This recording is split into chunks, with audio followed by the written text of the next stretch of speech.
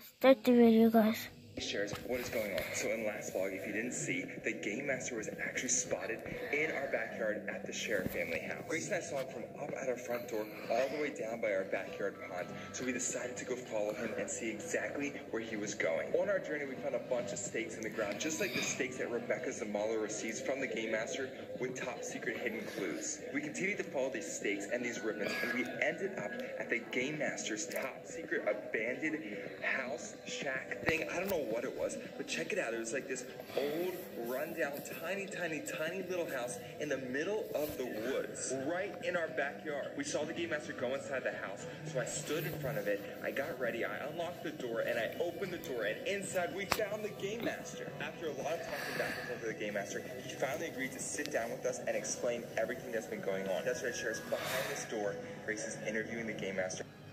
Yeah, Grace, we just got to find a photo development center. Hey, Shares, what's going on? So you saw in Laugh Log that we got this flux capacitor hooked up and started saying things, and it looks like we found a piece of film in the back of this antique camera. Check this out. It's